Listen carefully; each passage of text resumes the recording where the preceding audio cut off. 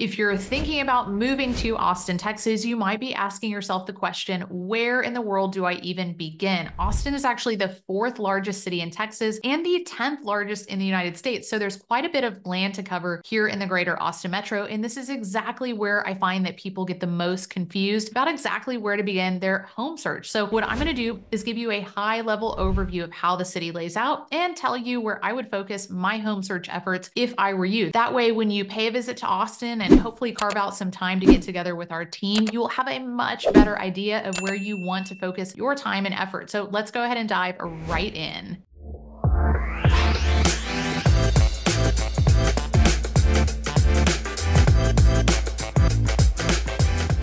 Have arrived at Old Faithful Google Maps. So I'm going to give you a breakdown here of Austin. Let's first talk about the road infrastructure before I dive into some of the specific locations, different areas around Austin, and some of the nuances that you should know about. I think the road system is very important. I'm curious if anything stands out to you right out of the gate. Now, in most major metros, keep in mind, again, Austin is the 10th largest city in the entire United States, and this is one of the pain points that I find. In most large cities, you're going to find some sort of an interstate loop system in and around the city. Now, Austin has some slight makeshift ones that do provide a bit of connection, but they are just not great. There's no outer loop system. I'll dive into that a little bit more here and explain exactly what some of this is, but it's all sort of piecemeal. There's no real interstate or loop interstate in or around greater Austin, and that's very difficult in terms of certain commutes. So you will definitely want to reach out to us so that we can tell you a little bit more about some of these areas, but I'll highlight a lot of it here too, of course.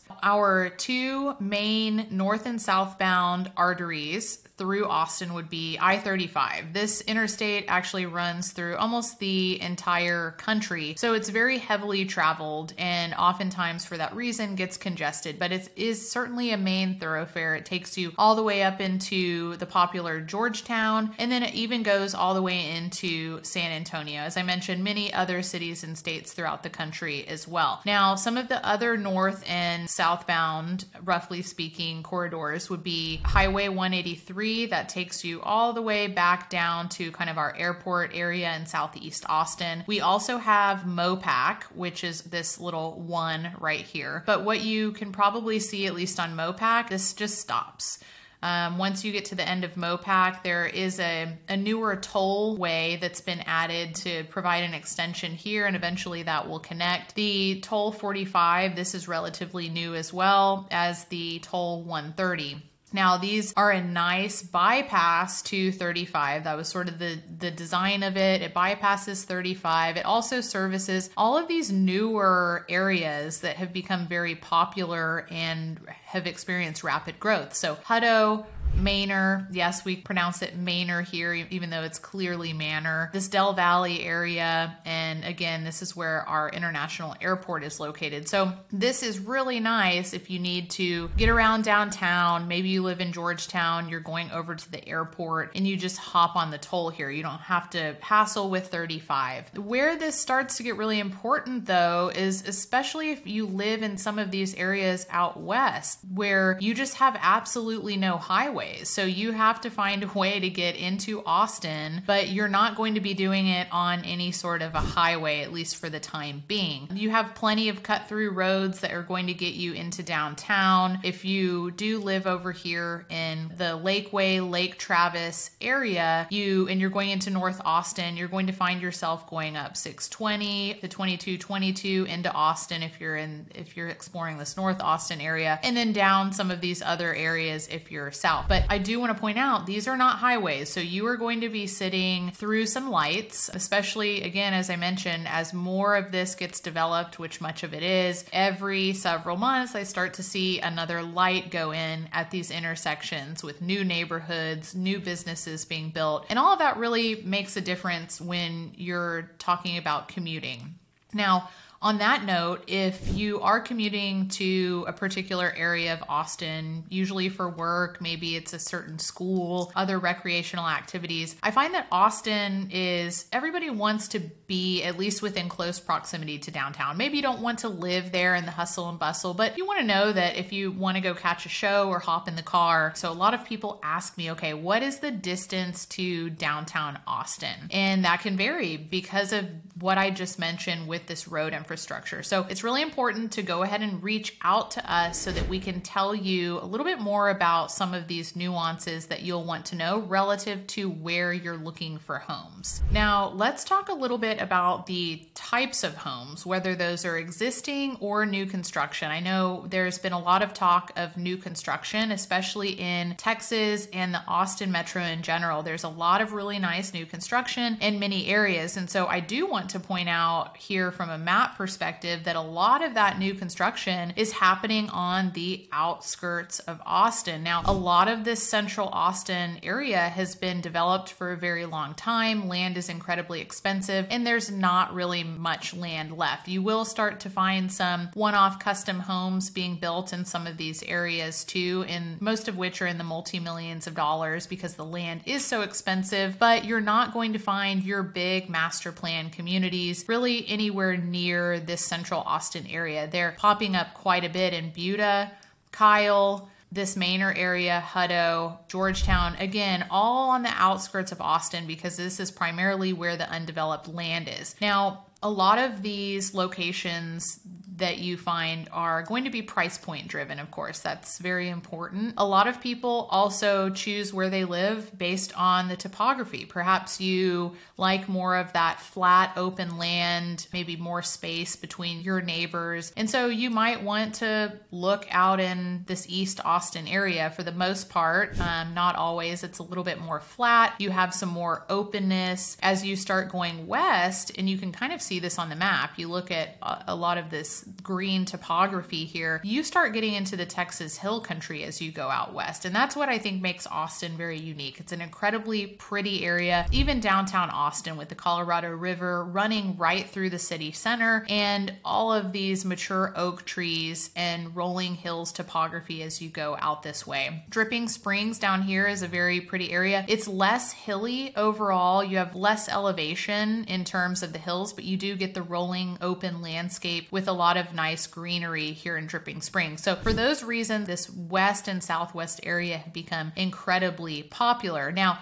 you still get quite a bit of that up north too, depending on exactly where you are. Again, if you're exploring new construction, there are a lot of fantastic communities, really all in this direction, many of which, though, are going to be price point driven, but you can get very nice homes and much more affordable than what you're going to find as you approach central Austin. Now, a lot of people, when they move to a particular location, also really like to know where the outdoor activities are. And so you might base your search somewhat on outdoor offerings in any particular location. And I find that those typically follow the type of topography that you're going to find in an area. As you go west and southwest, you start to get into more of the hiking and biking trails. The topography really lends itself to that. As you go west, too, you also have Lake Travis itself. This is a really nice big lake where you see a ton of different boats. You have a lot of marinas. It lends itself to many outdoor activities. And so I find that that's incredibly popular. On a related note, you can also go up into Georgetown. You have Georgetown Lake. You have some other watering holes in this area Blue Hole Park, San Gabriel Park, really pretty popular locations. So you can actually get new construction homes in these locations and not really sacrifice the outdoor offerings because you still have a lot of that pretty green topography and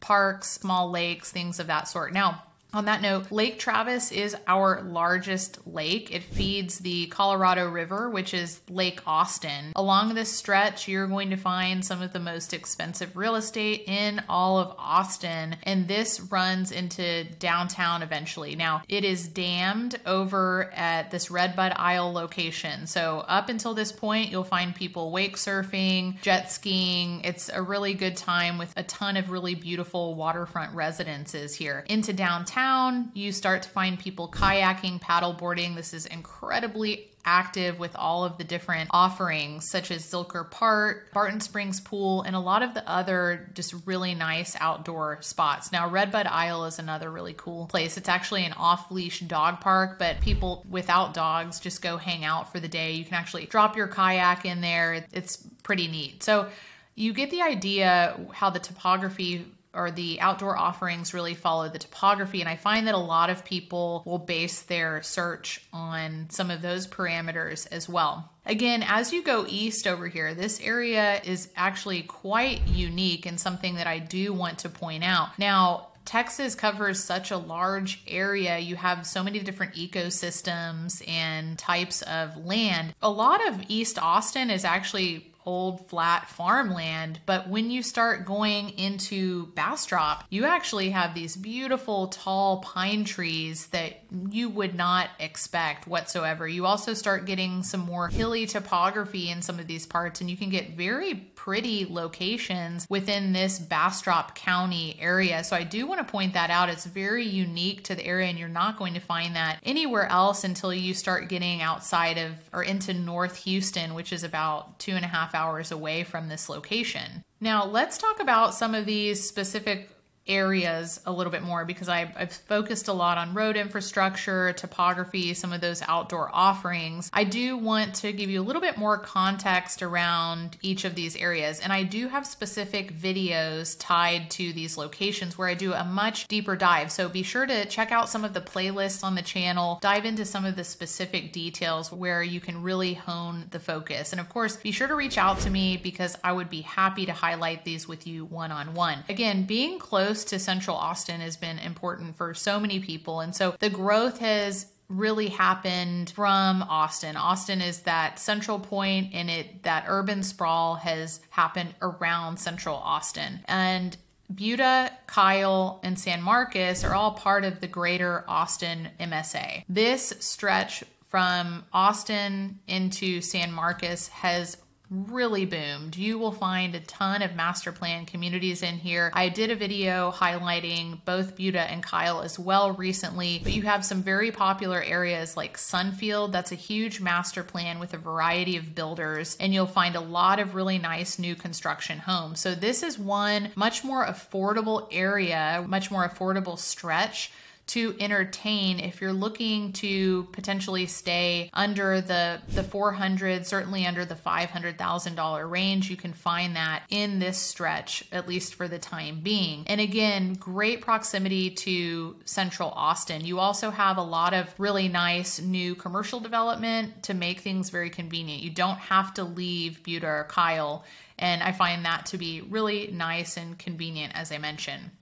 Now as you go north of Austin, a lot of this has been developed. So Pflugerville, Round Rock, you're not finding many super new master plan communities unless you start going out into this area east of 130. There are very nice existing neighborhoods in all of these locations though. Uh, Teravista, Paloma Lake, Brushy Creek, Mayfield Ranch. These are all very, very nice and they feed into good school districts too. And that's something else that I'll touch on here momentarily. Again, you're very close to downtown Austin. You're about 30 minutes away.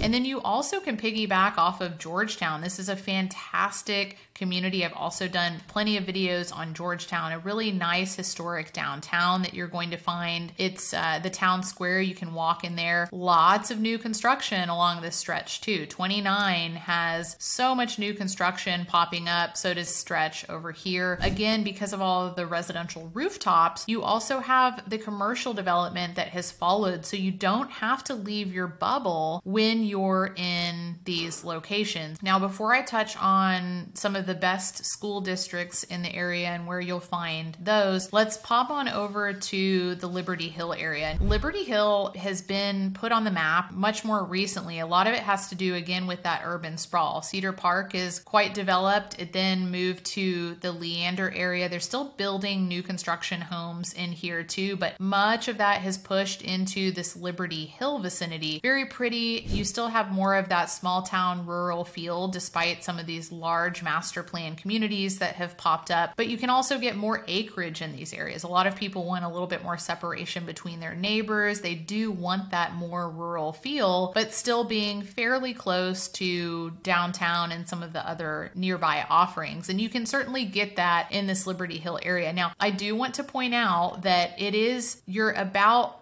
45 minutes to an hour into downtown, depending on the time of day. So that can often be a deal breaker for people, especially as I mentioned, if you are commuting for work uh, straight to downtown. If you don't have to hassle with that and you're looking for maybe more of a, a quiet, then Liberty Hill might be a really good spot for you.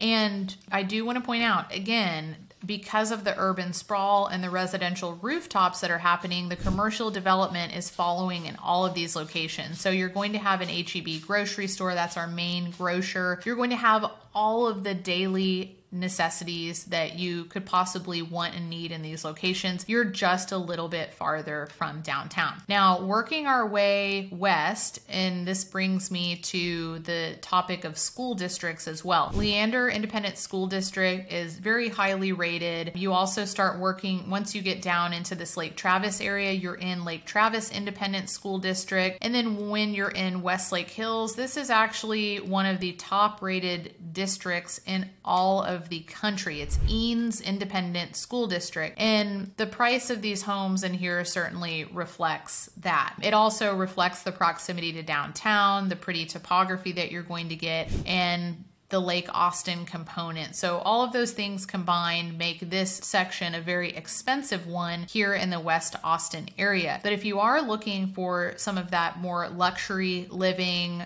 the pretty hills, the lake life, and great school districts, then you might want to shift your focus west of Austin out here into the, the Spicewood Lakeway, Lake Travis area, and then up into some of these areas that feed into the Leander Independent School District as well. All right, popping back over here to the Dripping Springs location. This has become an incredibly popular area and it's relatively close to Austin. Depending on where you are, you're anywhere from 30 to 45 minutes into downtown Austin. And I think that's actually going to get a little bit better as this congestion right here at Oak Hill is alleviated with some of the road infrastructure that's going in. That will certainly help. But in Dripping Springs, you have much new construction and really nice new homes, master plan communities. You also have some existing communities in this stretch that have been around for the last decade or longer. And as you see, along this 290 corridor that goes again into Austin and out into the hill country. You can actually get into San Antonio from here, but that's for another video. This whole stretch has started to become lined with commercial development and as I mentioned, new master plan communities. So this is a really nice corridor for people who are looking for again more of that rural lifestyle, still a very good school district, Dripping Springs Independent School District. They have a lot of solid schools within. So this stretch for more of that balanced lifestyle has been really nice for many people as well. And in the grand scheme of things, not too far from the city center.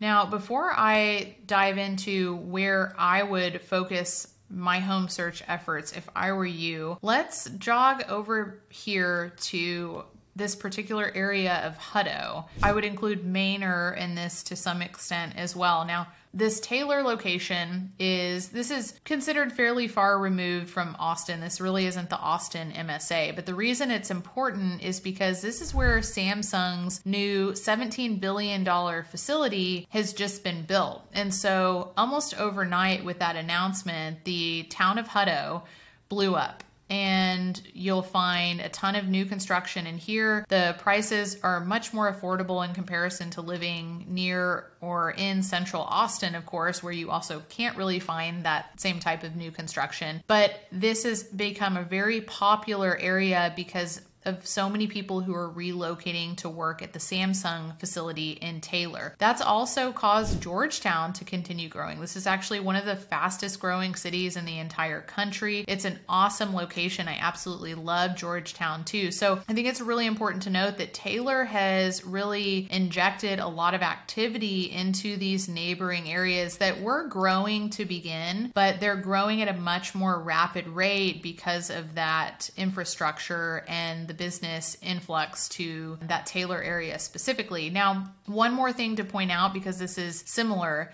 the Tesla Gigafactory also created a similar dynamic in East Austin. So, Tesla's Gigafactory is located just east of this 130 tollway that I mentioned. And because of all of the employees that moved to Austin for Tesla, you started to see so much commercial and residential development follow in this location. You also have a sister company, so to speak, SpaceX, that's in the Bastrop area. So that is also causing Bastrop to really grow. I mean, Bastrop's a great town, small town charm and feel to it. Some great little shops and restaurants in their downtown. And some of these more unique neighborhoods that have larger home sites too, because there's just a little bit more land in these areas to develop. So I think these are all conversations that are worth having. Ultimately, find where where you want to live. Now, if I were you, I would sort of tackle my search probably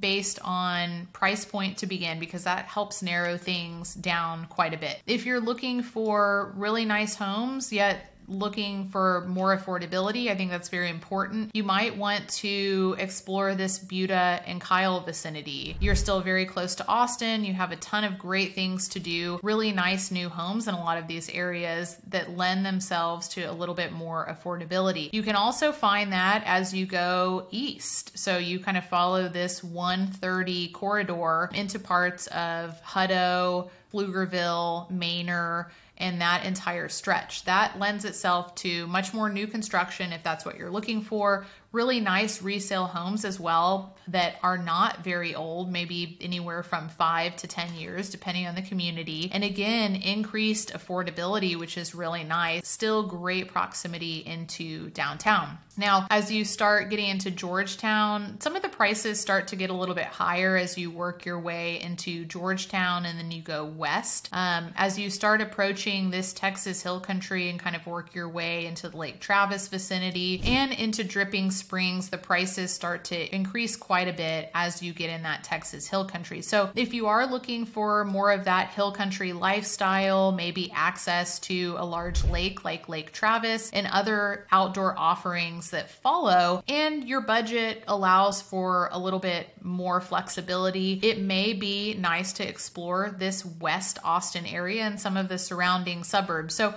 Ultimately, I think this depends on exactly what you're looking for, the budget that you would like to stay within, and then from there, we can really dive into how do we find the perfect home and location that fits all of those parameters. Now, of course, the perfect home doesn't exist, but I do think that we can get very, very close in many of these locations. And that's partly the beauty of Austin. There's so many different things that you can plug into, both from a recreational standpoint, but also in terms of housing options. And that's what I think makes Austin incredibly unique.